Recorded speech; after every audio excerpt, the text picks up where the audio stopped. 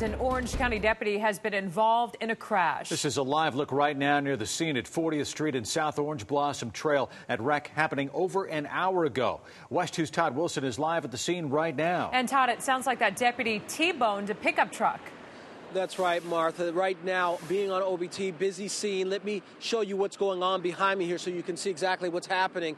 We've got a lot of deputies here from Orange County, some troopers from FHP, but as you can see just down the road here, you can see that pickup truck on its side. Now, this is what I know from the Florida Highway Patrol, one of their spokesperson.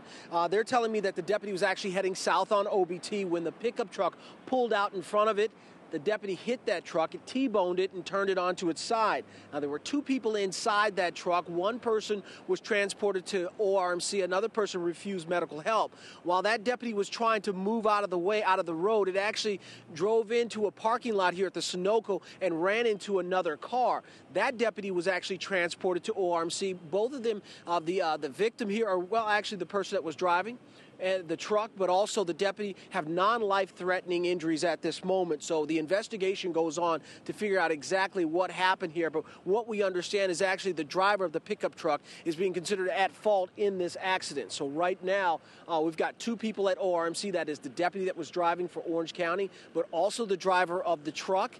Uh, they're non-life threatening uh, injuries right now, but they want to make sure here what went on. They're going through their uh, process of figuring out exactly what happened in this deputy-involved accident.